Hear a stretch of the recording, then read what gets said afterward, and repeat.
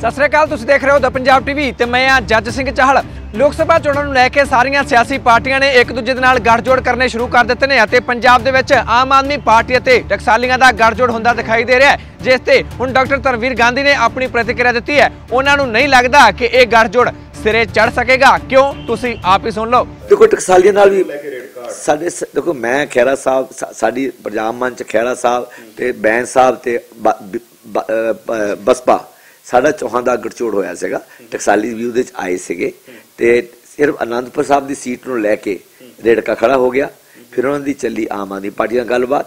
ਜਿੱਦ ਤੱਕ ਮੈਨੂੰ ਤਲ- ਮੇਰੀ, ਮੇਰੀ- ਮੇਰੇ ਕੋਲ ਖਬਰਾਂ ਨੇ, ਅਨੰਦਪੁਰ ਸਾਹਿਬ ਦੀ ਸੀਟ ਤੇ ਫੇਰ ਰੌਲਾ ਹੈਗਾ ਕਿਉਂਕਿ ਉਹ ਕਹਿੰਦੇ ਸਾਡੇ ਕਾਸ਼ੀ ਰਾਮ ਜਿੱਤੇ ਹੋਏ ਨੇ ਔਰ ਬੰਗਾ, ਗੜਸ਼ੰਕਰ ਔਰ ਨਵਾਂ ਸ਼ਹਿਰ ਇਹਨਾਂ ਬੈਲਟਾਂ 'ਚ ਪੀਐਸਪੀ ਦੀ ਕਾਫੀ ਵੋਟ ਹੈਗੀ ਹੈ। ਇਸ ਕਰਕੇ ਸਾਡੀ ਕੁਦਰਤੀ ਸਾਡੀ ਸੀਟ ਬਣਦੀ ਹੈਗੀ ਹੈ। ਡਾਕਟਰ ਧਰਮਵੀਰ ਗਾਂਧੀ ਦਾ ਤਾਂ ਇਸ ਦਾ ਕਹਿਣਾ ਹੈ ਕਿ ਸਿਰਫ ਸੀਟ ਦੀ ਵੰਡ ਨੂੰ ਲੈ ਕੇ ਹੀ ਰੇੜਕਾ ਨਹੀਂ ਹੈ ਸਗੋਂ ਆਪਣੇ ਆਪਣੇ ਉਮੀਦਵਾਰ ਵੀ ਇਹਨਾਂ ਦੋਹਾਂ ਪਾਰਟੀਆਂ ਨੇ ਘੋਸ਼ਿਤ ਕਰ ਦਿੱਤੇ ਨੇ। ਨਰਿੰਦਰ ਸ਼ੇਰਗਿੱਲ ਨੂੰ ਆਮ ਆਦਮੀ ਪਾਰਟੀ ਨਹੀਂ ਹਟਾ ਸਕਦੀ ਹੈ। ਅਕਾਲੀ ਦਲ ਟਕਸਾਲੀਆਂ ਨੇ ਖੜਾਤਾ ਵੀਰ ਦਵਿੰਦਰ ਸਿੰਘ ਹੋਰਾਂ ਨੂੰ ਔਰ ਆਮ ਆਦਮੀ ਪਾਰਟੀ ਨੇ ਪਹਿਲਾਂ ਹੀ ਨਰਿੰਦਰ ਸ਼ੇਰਗਿੱਲ ਨੂੰ ਟਿਕਟ ਦਿੱਤੀ ਹੋਈ ਹੈਗੀ ਉਹ ਵੀ ਵਾਪਸ ਲੈਣਾ ਮੁਸ਼ਕਲ ਹੈ ਕਿਉਂਕਿ ਉਹਨਾਂ ਦੇ ਉਹਨਾਂ ਦੇ ਖਜ਼ਾਨਚੀ ਨੇ ਰਾਜ ਦੇ ਉਹ ਤੇ ਇੱਕ ਅਹਿਮ ਅਹੁਦਾ ਉਹਨਾਂ ਦੇ ਕੋਲ ਹੈਗਾ ਹੈ।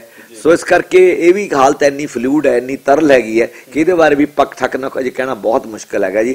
ਆਉਣ ਵਾਲੇ 2 ਤੇ 2-4 ਦਿਨਾਂ 'ਚ ਕੀ ਜੋੜ ਤੋੜ ਹੁੰਦੇ ਆ, ਕੀ ਤਾਲਮੇਲ ਬੈਠਦੇ ਆ, ਅੰਦਰੂਨੀ ਰਾਜਨੀਤੀ ਕੀ ਕਰਬਟ ਲੈਂਦੀ ਹੈਗੀ ਹੈ, ਇਹ ਬਹੁਤ ਮੁਸ਼ਕਲ ਹੈ। ਡਾਕਟਰ ਧਰਮਵੀਰ ਗਾਂਧੀ ਦਾ ਕਹਿਣਾ ਹੈ ਕਿ ਪੰਜਾਬ ਦੇ ਵਿੱਚ ਭਾਵੇਂ ਕਿਸੇ ਪਾਰਟੀ ਦਾ ਗੱਠਜੋੜ ਹੋਵੇ ਜਾਂ ਨਾ, ਪਰ ਇਸ ਤੋਂ ਇੱਕ ਗੱਲ ਤਾਂ ਸਾਫ਼ ਹੋਣ ਲੱਗੀ ਹੈ ਕਿ ਸਾਰੀਆਂ ਸਿਆਸੀ ਪਾਰਟੀਆਂ ਤੇ ਗੱਠਜੋੜ ਦਾ ਦਬਾਅ ਲਗਾਤਾਰ ਵਧ ਰਿਹਾ ਹੈ। ਜਿਉਂ ਜਿਉਂ ਸਮਾਂ ਨੇੜੇ ਆ ਰਿਹਾ ਹੈਗਾ ਪਾਰਟੀ ਦੇ ਪ੍ਰੈਸ਼ਰ ਜ਼ਰੂਰ ਵੱਧ ਰਿਹਾ ਹੈਗਾ ਕਿ ਕਿਸੇ ਤਰ੍ਹਾਂ ਜਿਹੜੀ ਮੋਦੀ ਵਿਰੋਧੀ ਵੋਟ ਹੈਗੀ ਹੈ, ਉਹ ਵੰਡੀ ਨਾ ਜਾਵੇ। ਪੰਜਾਬ ਜਿਹੜੀ ਅਕਾਲੀ ਵਿਰੋਧੀ ਵੋਟ ਹੈ ਜਾਂ ਕਾਂਗਰਸ ਵਿਰੋਧੀ ਵੋਟ ਹੈ ਜਾਂ ਜਾਂ ਅਕਾਲੀ ਭਾਜਪਾ ਗਠਜੋੜ ਵਿਰੋਧੀ ਵੋਟ ਹੈਗੀ ਹੈ, ਉਹ ਵੰਡੀ ਨਾ ਜਾਵੇ, ਇੱਕ ਥਾਂ ਹੀ ਰਵੇ। ਮੇਨ ਸਟ੍ਰੀਮ ਪਾਰਟੀਆਂ ਜਿਹੜੀ ਹੁਣ ਤੱਕ ਜਿਹਨਾਂ ਦਾ ਗਲਬਾ ਹੈ ਹਿੰਦੁਸਤਾਨ ਦੀ ਸਿਆਸਤ ਤੋਂ। ਔਰ ਜਿਹਦੇ ਬਾਰੇ ਕਿਹਾ ਗਿਆ ਕਿ 14 ਚ ਆ ਕੇ 14 ਚ ਆ ਕੇ the end of coalition it is end of coalition era ਕਿ ਹੁਣ ਜਿਹੜਾ ਗਠਜੋੜਾਂ ਦਾ ਸਮਾਂ ਸੀ, ਪੁੱਗ ਗਿਆ।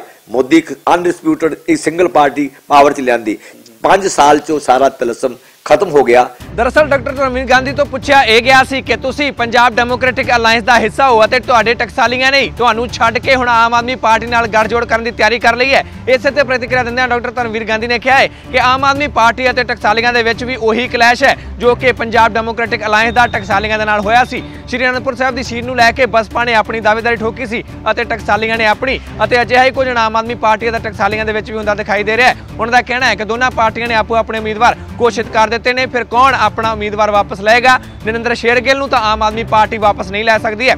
ਸੁਖਪਾਲ ਸਿੰਘ ਖਹਿਰਾ ਦਾ ਵੀ ਕੁਝ ਅਜਿਹਾ ਹੀ ਕਹਿਣਾ ਹੈ। ਉਹਨਾਂ ਦਾ ਕਹਿਣਾ ਹੈ ਕਿ ਨਰਿੰਦਰ ਸ਼ੇਰਗਿੱਲ ਸਾਰਾ ਫਾਈਨਾਂਸ ਸਾਰਾ ਪੈਸਾ ਇਸ ਵੇਲੇ ਆਮ ਆਦਮੀ ਪਾਰਟੀ ਨੂੰ ਦੇ ਰਿਹਾ ਹੈ ਅਤੇ ਆਪਣਾ ਪੈਸਾ ਦੇਣ ਵਾਲੇ ਨੂੰ ਫਾਈਨਾਂਸਰ ਨੂੰ ਆਮ ਆਦਮੀ ਪਾਰਟੀ ਪਿੱਛੇ ਨਹੀਂ ਖਿੱਚ ਸਕਦੀ ਹੈ। ਇਸ ਤਰ੍ਹਾਂ ਲੱਗ ਰਿਹਾ ਹੈ ਕਿ ਟਕਸਾਲੀਆਂ ਤੇ ਆਪ ਦਾ ਗੜਜੋੜ ਨਹੀਂ ਹੋਏਗਾ। ਅਜਿਹਾ ਹੀ ਕਹਿਣਾ ਸੁਖਪਾਲ ਸਿੰਘ ਖਹਿਰਾ ਦਾ ਵੀ ਸੀ। ਪਰ ਡਾਕਟਰ ਧਰਮਵੀਰ ਗਾਂਧੀ ਦਾ ਕਹਿਣਾ ਹੈ ਕਿ ਦੇਸ਼ ਦੇ ਵਿੱਚ ਗੱਠਜੋੜ ਨੂੰ ਲੈ ਕੇ ਰਾਜਨੀਤੀ ਲਗਾਤਾਰ ਵਾਧੀ ਦਿਖਾਈ ਦੇ ਰਹੀ ਹੈ। ਕਿਉਂਕਿ 2014 ਦੀਆਂ ਲੋਕ ਸਭਾ ਚੋਣਾਂ ਦੇ ਵਿੱਚ ਭਾਰਤੀ ਜਨਤਾ ਪਾਰਟੀ ਨੇ ਆਪਣੇ ਦਮ ਤੇ ਬਹੁਮਤ ਹਾਸਲ ਕਰ ਲਈ ਸੀ ਅਤੇ ਉਸ ਤੋਂ ਬਾਅਦ ਕਿਹਾ ਜਾਣ ਲੱਗਾ ਸੀ ਕਿ ਹੁਣ ਗੱਠਜੋੜ ਦੀ ਸਿਆਸਤ ਖਤਮ ਹੋ ਚੁੱਕੀ ਹੈ। ਪਰ ਡਾਕਟਰ ਗਾਂਧੀ ਦਾ ਕਹਿਣਾ ਹੈ ਕਿ ਇਹਨਾਂ ਚੋਣਾਂ ਦੇ ਵਿੱਚ ਇੱਕ ਵਾਰ ਫਿਰ ਤੋਂ ਗੱਠਜੋੜ ਦੀ ਸਿਆਸਤ ਵਾਪਸੀ ਕਰੇਗੀ ਕਿਉਂਕਿ ਕਿਸੇ ਵੀ ਪਾਰਟੀ ਨੂੰ ਬਹੁਮਤ ਨਹੀਂ ਮਿਲਣ ਵਾਲੀ ਅਤੇ ਖੇਤਰੀ ਪਾਰਟੀਆਂ ਨਾਲ ਗੱਠਜੋੜ ਕੀਤੇ ਬਿਨਾ ਕੋਈ ਵੀ ਸਰਕਾਰ ਨਹੀਂ ਬਣੇਗੀ। ਪਰ ਆਪ ਅਤੇ ਟਕਸਾਲੀਆਂ ਦੇ ਗੱਠਜੋੜ ਨੂੰ ਲੈ ਕੇ ਪੰਜਾਬ ਦੇ ਸਾਰੇ ਸਿਆਸੀ ਮਾਹਿਰਾਂ ਦੇ ਨਿਗਾਹਾਂ ਇਸ ਤੇ ਬਣੀਆਂ ਹੋਈਆਂ ਨੇ, ਕਿਉਂਕਿ ਜੇਕਰ ਇਹ ਗੱਠਜੋੜ ਹੋ ਜਾਂਦਾ ਹੈ, ਤਾਂ ਪੰਜਾਬ ਦੇ ਵਿੱਚ ਚਾਰ ਧਿਰਾਂ ਬਣ ਜਾਣਗੀਆਂ ਅਤੇ ਮੁਕਾਬਲਾ ਚੌਤਰਫਾ ਵੀ ਹੋ ਸਕਦਾ ਹੈ। ਪਰ ਇੱਕ ਸਵਾਲ, ਹੁਣ ਅਸੀਂ ਤੁਹਾਡੇ ਤੋਂ ਪੁੱਛਣਾ ਚਾਹੁੰਦੇ ਹਾਂ ਕਿ ਕੀ ਤੁਸੀਂ ਡਾਕਟਰ ਗਾਂਧੀ ਦੇ ਇਸ ਬਿਆਨ ਦੇ ਨਾਲ ਸਹਿਮਤ ਹੋ ਕਿ ਇਸ ਵੇਲੇ ਹਰ ਸਿਆਸੀ ਪਾਰਟੀ ਤੇ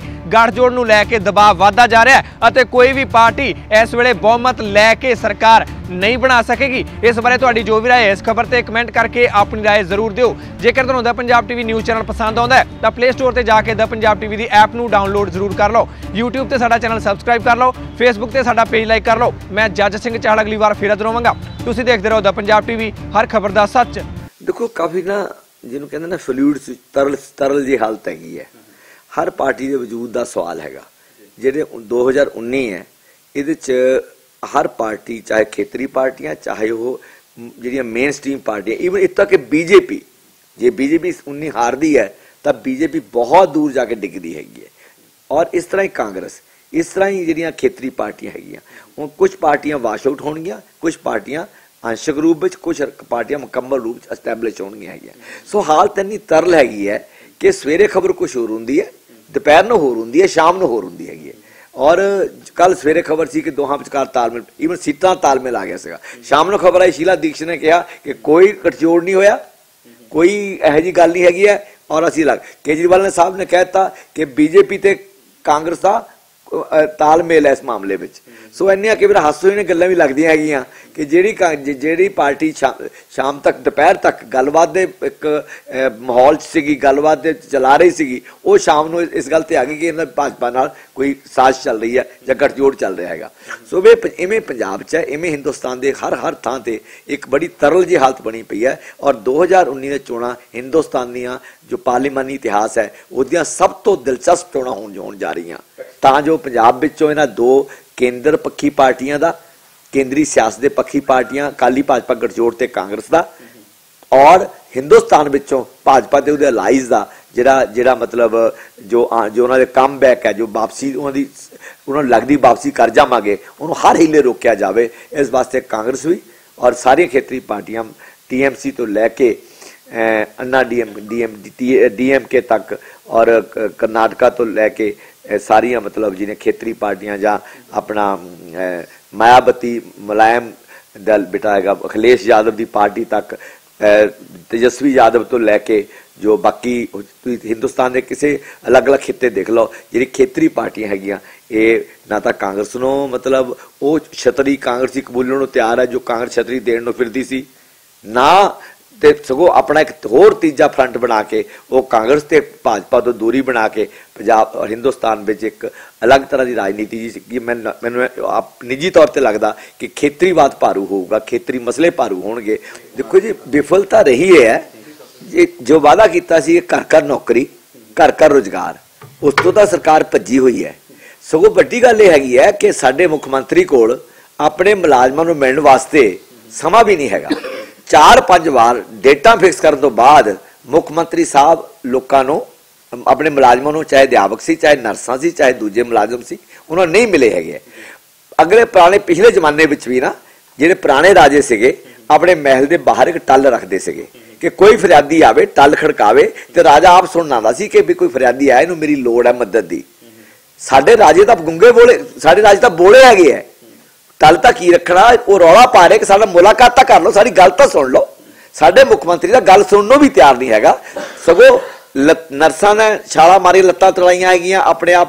20 ਦਿਨ 23 ਦਿਨ ਉੱਪਰ ਛੱਤ ਤੇ ਟੰਗ ਮੀਂਹ ਨੇਰੀ ਚ। ਟੀਚਰਾਂ ਦੀ ਲੱਤਾਂ ਭੰਨੀਆਂ ਗਈਆਂ, ਗੁੱਤਾਂ ਪੱਟੀਆਂ ਗਈਆਂ ਚੁੰਨੀਆਂ ਲਈਆਂ ਨੇ, ਪੱਗਾਂ ਲੱਤੀਆਂ ਨੇ। ਆ ਹੁਣ ਪਟਿਆਲੇ ਵਿੱਚ ਜਿਹੜੇ ਮਿਊਨਿਸਪਲ ਕਾਰਪੋਰੇਸ਼ਨ ਦੇ ਕੰਮ ਆ, ਉਹ ਛੱਤ ਤੇ ਚੜੀ ਬੈਠੇ ਆ।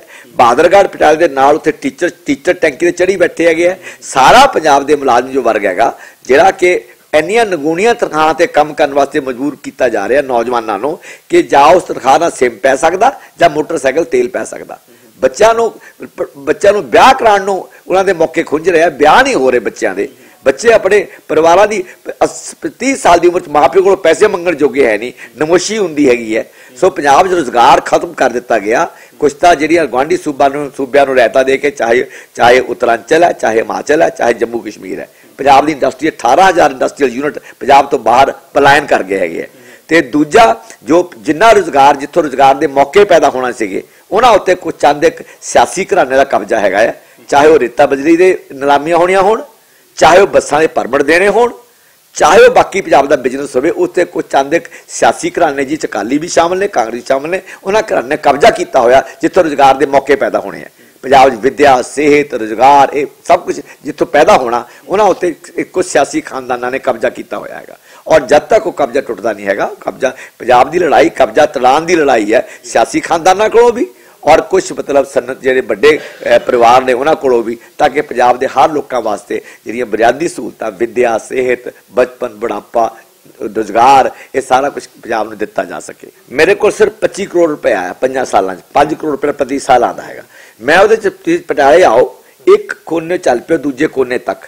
ਪਟਿਆਲੇ ਹਲਕੇ ਦੇ 1000 ਸਕੂਲਾਂ 'ਚ ਟਾਇਲਟ ਆਰਓ ਤੇ ਬੈਂਚਸ ਕੋਈ ਬੱਚਾ ਟਾਟਾਂ ਤੇ ਨਹੀਂ ਹੈਗਾ ਕੋਈ ਬੱਚਾ ਬੋਰੀਆਂ ਤੇ ਨਹੀਂ ਹੈ ਹੈ ਜੀ ਨਹੀਂ I I I set an example I given alternative alternative to Patala, I, this is a personal thing. I, I have brought 1900 crore rupee railway project. Rajpura Bhatinda double line, Rajpura Mohali which is a key link for 10 district of Punjab for connectivity to their capital Chandigarh Chandigarh ਸਾਡੀ ਰਾਜਧਾਨੀ ਹੈ, ਸਾਡੀ PGI ਸਾਡੀ, ਸਾਡੇ high court ਹੈ, ਸਾਡੀ ਸਰਕਾਰ ਬਹਿੰਦੀ ਹੈ।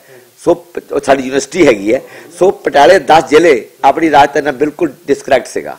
ਸੋ ਮੈਂ 258 ਕਰੋੜ ਦੀ ਲਾਗਤ ਨਾਲ 20 ਵਾਰ ਰੇਲ ਮੰਤਰੀ ਨੂੰ ਮਿਲ ਕੇ, ਦੋ ਵਾਰ ਪ੍ਰਧਾਨ ਮੰਤਰੀ ਨੂੰ ਮਿਲ ਕੇ ਇਹ ਜਿਹੜਾ ਰਾਜਪੁਰਾ ਮਹਾਲੀ ਰੇਲ ਲਿੰਕ ਮਨਜ਼ੂਰ ਕਰਾਇਆ। ਇਹ ਗੱਲ ਲੱਗ ਹੈ ਕਿ ਪਹਿਲਾਂ ਬਾਦਲ ਸਾਹਿਬ ਨੇ ਤੇ ਹੁਣ ਕੈਪਟਨ ਸਾਹਿਬ ਨੇ ਚਾਰ ਵਾਰ ਮਿਲਣ ਤੋਂ ਬਾਅਦ ਵੀ 78 ਕਰੋੜ ਰੁਪਇਆ ਲੈਂਡ ਐਕੁਜੀਸ਼ਨ ਵਾਸਤੇ ਜਾਰੀ ਨਹੀਂ ਕੀਤਾ ਹੈਗਾ। ਨਹੀਂ ਤਾਂ ਸਾਰਾ ਮਾਲਵਾ ਚੰਡੀਗੜ੍ਹ ਨਾਲ ਜੁੜ ਜਾਂਦਾ ਅੱਜ ਨੂੰ।